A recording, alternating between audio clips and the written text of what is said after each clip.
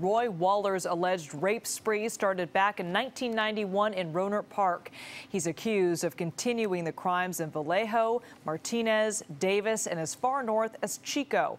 Investigators say he committed his last two crimes in 2006 in the Sacramento area.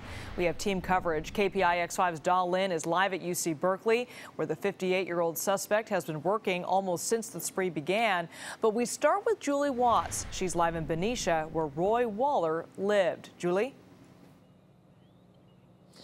Yeah, Liz, you know, it's actually National Forensic Science Week, which is fitting in this case. Just months after the arrest of a suspect in the Golden State Killer case, investigators have once again used genealogy DNA to arrest a serial rapist that terrorized Northern California for years.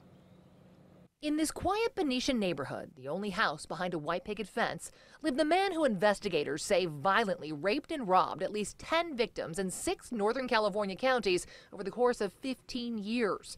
Police say 58 year old Roy Waller is the NorCal rapist. His alleged crime spree began in Rohnert Park in 1991 and continued victimizing women in Davis, Chico, Woodland, and Sacramento. Those people that you least expect that, you know, sometimes you just never know. Neighbors say Waller lived here with his wife and, like his home, was unassuming. From a distance, he seemed normal. I mean, he was cutting down the trees and pruning, and, and they were laughing, I think. But in a joint press conference today, investigators from across Northern California recounted tales of terror. The suspect in this case was a real life boogeyman who crept into his victims' homes under the cover of darkness and attacked them when they were most vulnerable. He allegedly bound and sexually assaulted his victim before ransacking their homes, sometimes forcing them to withdraw money from the ATM. In one notable case, he even posed as a trick or treater before attacking his victim in Martinez on Halloween, later calling to apologize. Investigators have gathered plenty of evidence over the years. Police released this ATM video of the suspect wearing a mask.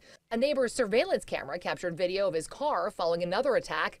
In 2006, they released this sketch of the suspect after a victim caught a glimpse of his face. And for decades, investigators have been collecting DNA, but with no known matches, it wasn't much help until recent advances in genealogy DNA changed everything. DNA is the silent witness to the truth. Using the same genetic genealogy website used to catch the Golden State Killer, investigators recently uploaded the NorCal rapist DNA. Like with the Golden State Killer, it allowed them to compile a family tree of relatives with common genes and track it back to their suspect, in this case, in just 10 days. Between science and passionate police work, the answer that many have waited so long has come to us Waller is set to be arraigned on Monday. He's currently being held without bail. And Liz, he does face life in prison. Yeah, Julie, you mentioned investigators found Waller through a genealogy website. Does that mean that he submitted his own DNA?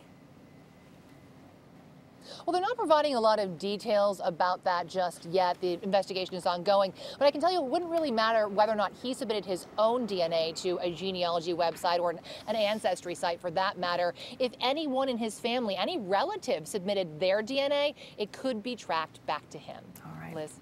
Julie Watts, thank you. News of the arrest came as a shock to students and staff at UC Berkeley, where Waller has been working for decades. KPIX 5 reporter Da Lin continues our coverage with reaction from campus. Da? Les, a big surprise indeed. The campus sent out this email to everyone on campus alerting them about the arrest. For years, Waller worked on the third floor of this building here. His job title?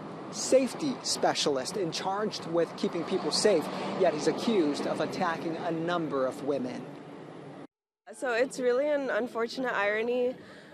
I mean, they hide in plain sight. You never really know like what someone is capable of. For 26 years, Roy Waller worked for UC Berkeley's Environment, Health, and Safety Office. Sacramento police arrested him yesterday as he arrived for work.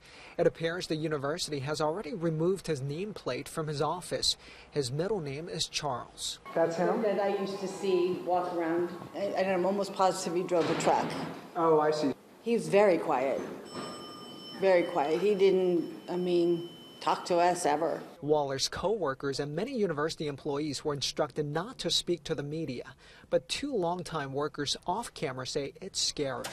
We have chat here at work, and I'm talking from one side of campus to the other side, like, can you believe this? Oh my God, look at this.